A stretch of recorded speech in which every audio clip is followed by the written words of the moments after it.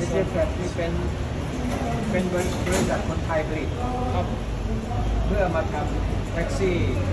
แอปพลิเคชันครับผมครับผมอันนี้การเรียกเนี่ยเขาเรียกยังไงบ้างครับคันนี้เป็นการเรียกใช้แอปพลิเคชันอแอย่างปพเดีลิยวเคชันอย่างเดียวใช่ไหมครับ ก็วิ่งทั่วไปเลยไหมครับหรือว่าวิ่งทั่วไปไม่ได้ต้อง ใช้เอ่อแอปพลิเคชันอย่างเดียวแล้วก็ไปรับครับผมไปรับที่บ้านหรือว่าไปรับที่ทำงานครับ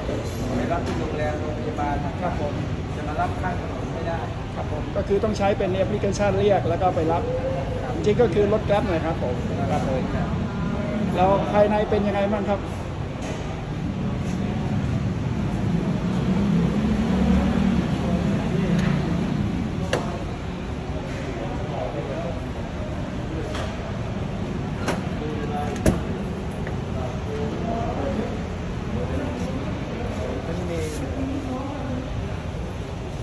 แรมสำหรับสำหรับวิวแชร์อ๋อแล้วตรงนั้นสำหรับวีลแชร์นะครับถ้าวิวแชร์วางรถด้านหลังรถแบบวิวแชร์ปกตินี่นั่งได้ประมาณสักห้าคนห้าห้าคคนนใช่ไหมห้าคครับนผมนะหลังสามเนี่ยตรงนี้ได้ได้สองคน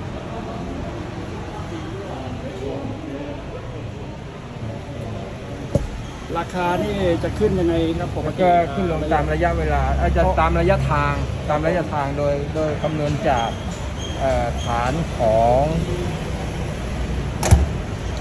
โดยคำนวณจากฐานของมิเตอร์ครับผมซึ่งมันอยู่ข้างบนอ๋อนี่ก็มีมีมิเตอร์ที่ข้างบนนี้นะครับเป็นมิเตอร์โอเคแท็กครัซี่บโอผมเคแท็กซี่โอเคนะครับคผรับมคำนวณจากตัวนี้แล้วก็ลงมาส่งส่งมาให้กับแอปพลิเคชัน ตัวนี้ก็ประมประเมินราคาครับ ก็สำหรับผ่านบัตรเครดิตอะไรก็ได้ใช่ไหมคมัรับนมีผ่านบัตรอ๋อใช้โอเคครับผม EDC ครับผม EDC ผ่านบัตรต่างครับ ๆ บัตรเครดิตก็ได้ครับบัตรเดบิตก็ได้ครับคผรับมครับแล้วก็ QR code ครับ QR code มีมีประมาณสักกี่คันครับในตอนนี้มีอยู่มีอยู่ร้อยห้าสิบคันร้อยประห้ามาณสิบคันใช่ไหมครับร้อยห้าสิบคันครับผมซึ่งปีนี้อาจจะต้องเพิ่มเพิ่มเพิ่มขึ้นไปเรื่อยๆครับผมก็มีมีเบอร์ที่เป็นเป็นกับเอ่อ แอปของอะไรนะครับแอปปกติมีมีหมายเลขนี้เดี๋ยวขอดูหน่อยอันนี้ครับข้อมูลสำหรับใครที่สนใจอยากจะเรียกใช้บริการนะครับ อยากจะลองดูครับได้ลองดูความหรูหราที่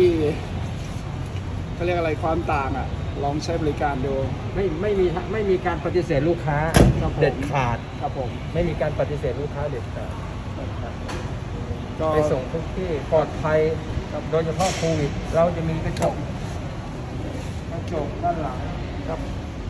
อ๋อตอนนี้จะเป็นกระจกกั้นแยกห้องแยกห้องเอ่อระหว่างห้องพนักงานขับรถกับเอ่อผู้โดยสารเลยนะครับผมใช่ครับก็สำหรับผมว่าจริง ๆ เหมาะสำหรับคนที่อย่างคนที่ต้องนั่งเวีลแชร์เลยด้วยนะครับเพราะรถแท็กซี่ทั่วไปผมว่าไม่สามารถที่จะขึ้นขึ้นได้หรือว่าขึ้นได้มันก็ลำบากอะเนาะมีเอ่อ คนพิการใช้วิวแชร์ครับกับผู้สูงอายุก็สามารถจะ